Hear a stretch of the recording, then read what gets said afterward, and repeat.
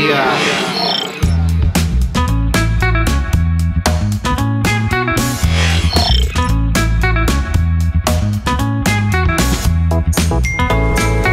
Halo, selamat siang, pagi, dan malam semuanya. Di mana pun teman-teman berada di Indonesia maupun dunia. Selamat datang kembali di Durian di Koi 89 Kita akan ngebahas soal pakan impor lagi yang bagus dan premium untuk ikan koi kita di rumah. Yes, yes, yo. Mohon maaf gue reviewnya agak belel menggunakan kursi roda dan nafas gue agak tersengal-sengal alias sesak ya. Mohon doa karena gue baru sembuh dari covid sekali lagi dan gue bukan mamer-mamerin terus atau lebay. Cuman karena keterbatasan nafas gue cara gue apa bicara sama posisi gue duduk ada yang aneh gue harus menjelaskan terus. Nanti teman-teman ber- berpikir gue nggak profesional lagi. Hari ini gue mau ngebahas soal ini dia pakan premium untuk ikan koi kita di rumah. Dan kebetulan gue emang ma- pakai pakan ini sudah bertahun-tahun sejak kolam ini dibangun. Atau kolam ini ada. Saki Kari Growth. Bedanya kalau lu bilang kan lu pernah bahas kan Saki, Saki Kari Growth.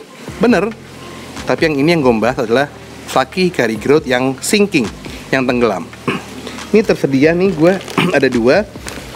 Ini floating yang ini sinking. Langsung kita bahas.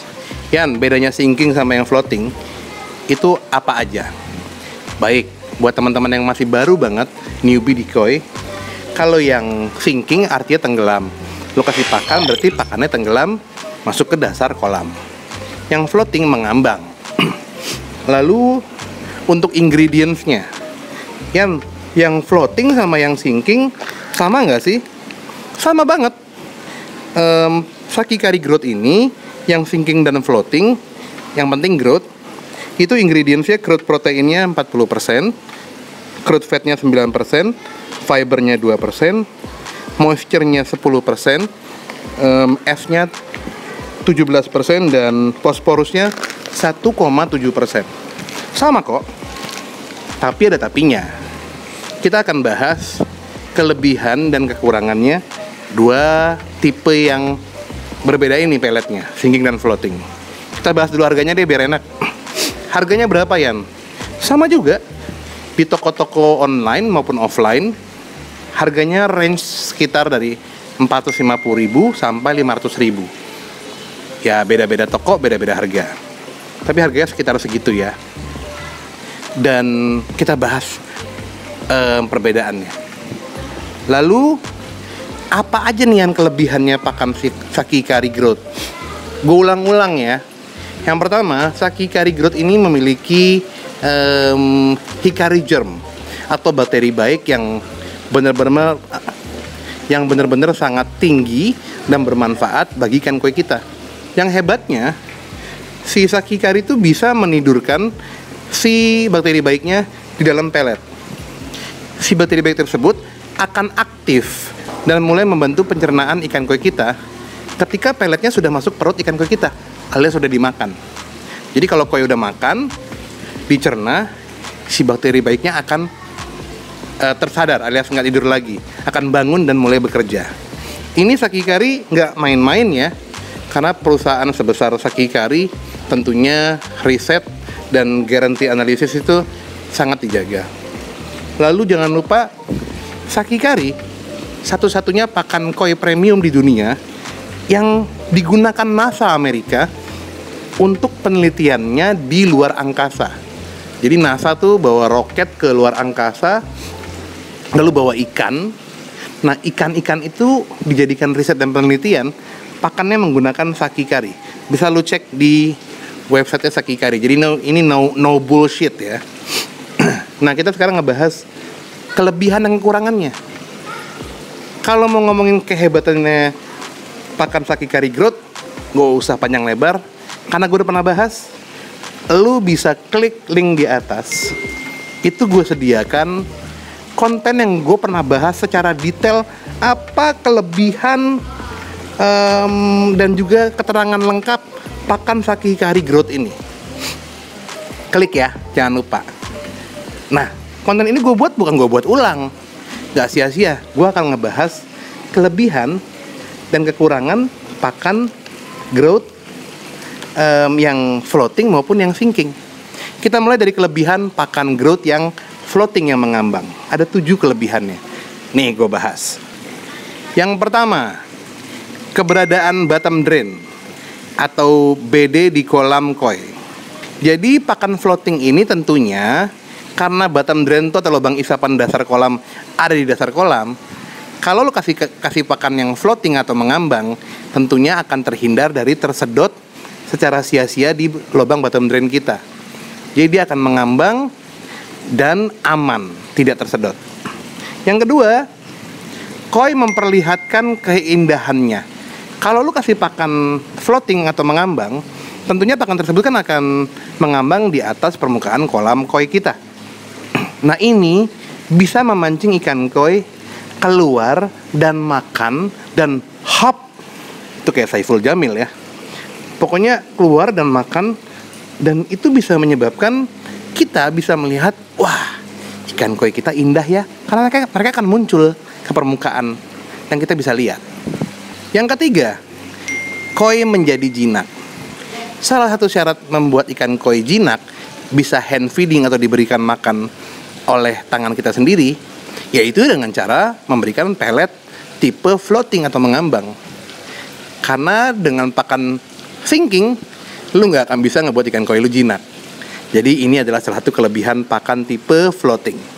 Keempat mempercepat pertumbuhan ikan koi terlepas dari mutu kandungan pakan pemberian pakan terapung membuat koi berenang cepat ke permukaan untuk meraih pakan yang diberikan Gerakan koi secara vertikal menuju ke permukaan kolam, diyakini nih teman-teman, akan mempercepat pertumbuhan badannya, cepat besar, cepat panjang.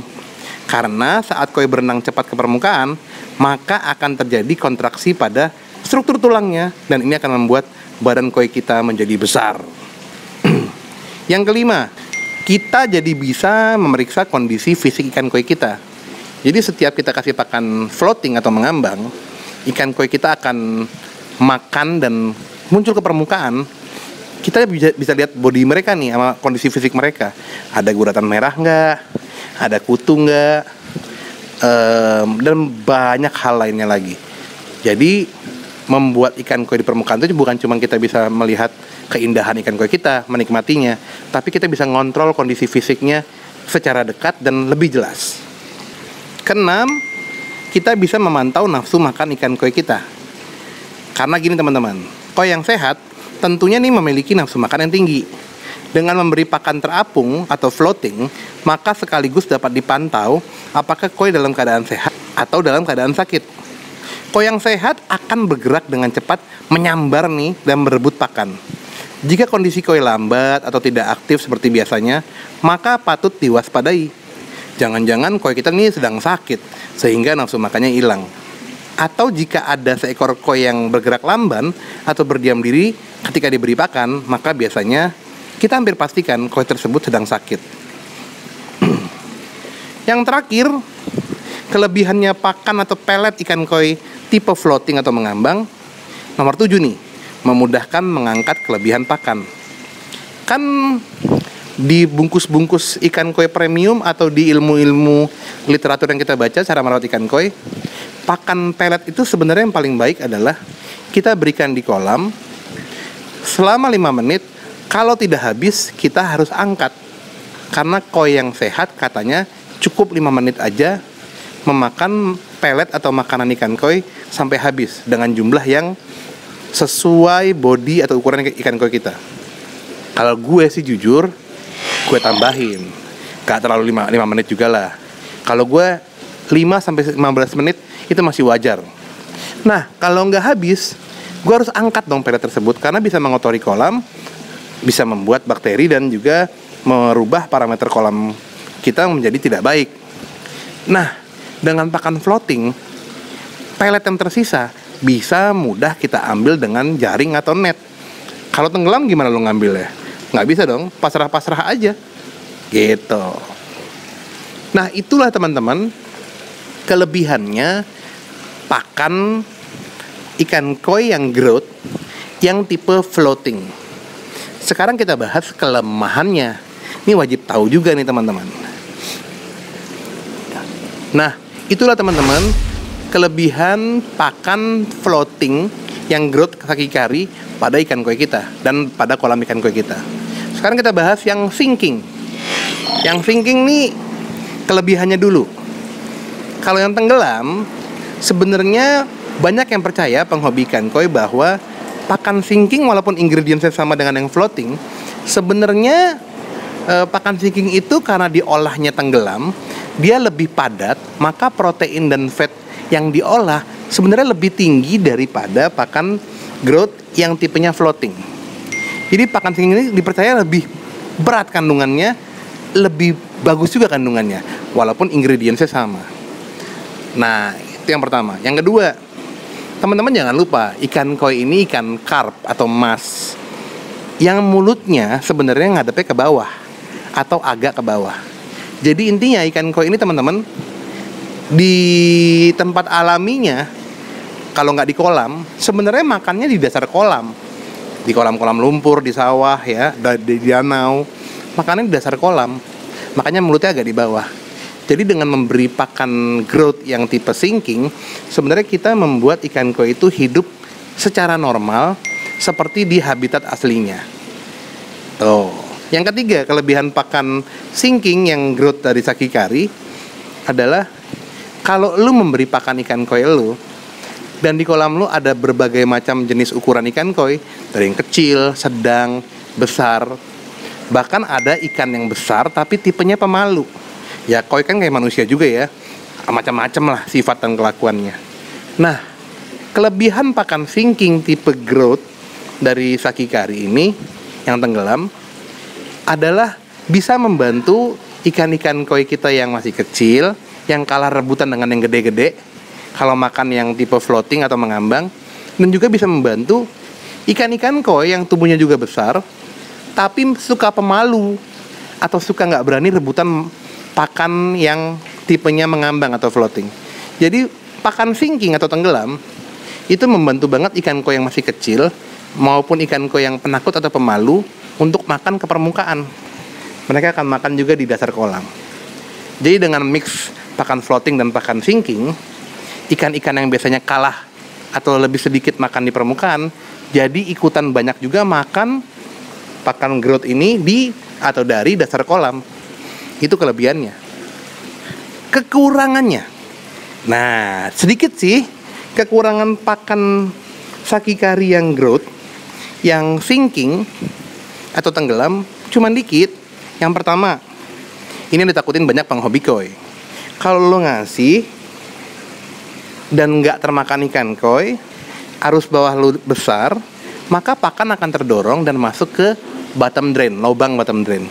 Jadi nggak dimakan ikan koi sia-sia aja kesedot bottom drain dan pakan yang tersedot bottom drain tentunya akan rugi banget ya rugi duit beli mubazir kedua merugikan kita dari segi pakan akan terkumpul di filter chamber satu dan dua di filter mekanik dan akan membusuk di sana yang tentunya akan mengotori dan membuat air kolam menjadi tidak sehat. Itu kekurangannya. Kekurangan kedua ya kalau dibiasakan nggak dan nggak diselingin pakan floating mungkin ikan ikan kita jadi cepat besar ya. Karena mereka makannya di dasar terus bergerak alami seperti di habitat aslinya.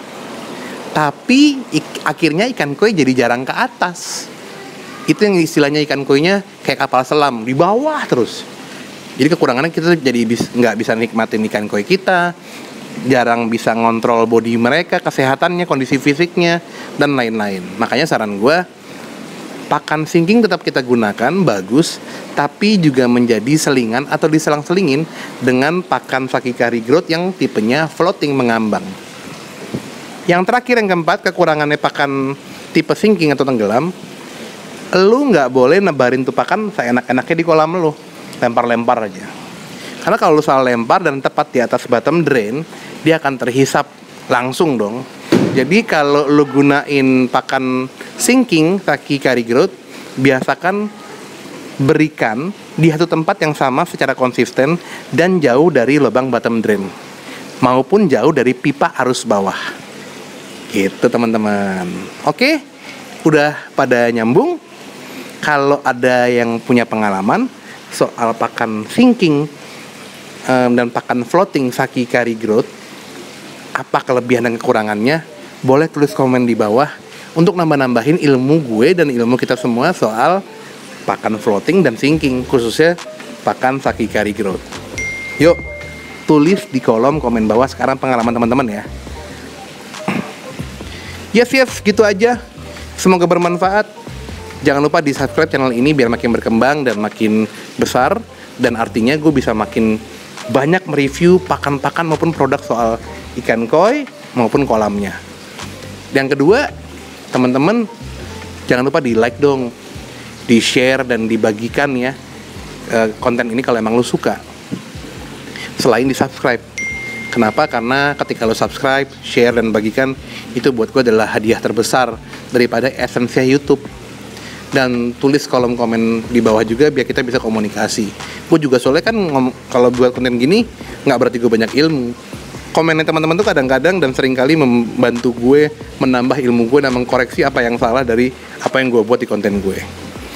Dan kalau ada yang mau nanya soal ikan koi, soal apa aja, boleh DM Instagram gue ini dia.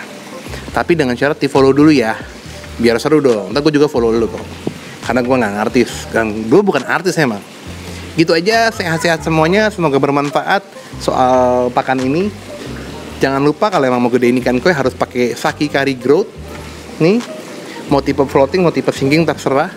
Lo mau mix dengan pakan lainnya boleh, tapi yang utama ini deh. Kalau gue soalnya begitu sehat-sehat semuanya jauh dari corona tetap pakai masker double um, prokes dan jangan berkerumun jangan anggap remeh corona stay safe salam dari Gue cheers baby. Assalamualaikum. Teman-teman jangan lupa like and share ya biar kami bisa umroh sekeluarga. Terima kasih